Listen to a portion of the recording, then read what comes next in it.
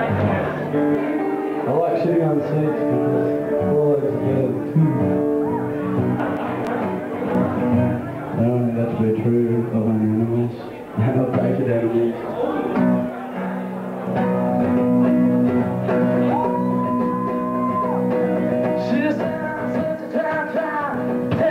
Said I got high and a little fat